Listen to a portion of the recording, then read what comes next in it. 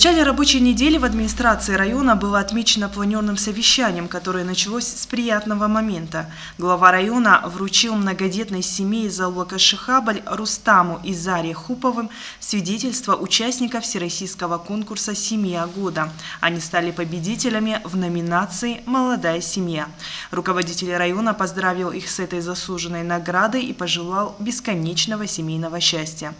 Затем участники перешли к рассмотрению вопросов по повестки дня, которых было немало. Одной из главных тем был ход призывной кампании, исполнение национальных проектов на территории района, достижение KPI-показателей и многие другие. Глава района поручил ответственным лицам активизировать работу по каждому из озвученных вопросов, обозначил сроки их выполнения и пожелал всем продуктивной рабочей недели.